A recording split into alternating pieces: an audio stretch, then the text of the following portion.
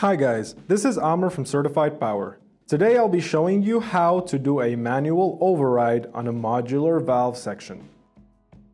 First, make sure that nobody is standing too close to the truck.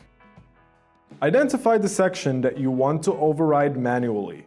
Modular valve sections will contain a valve for the A port and another valve for the B port.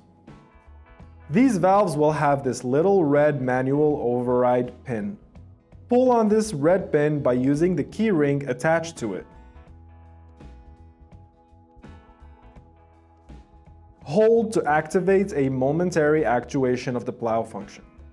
Release the keyring to return to normal operation.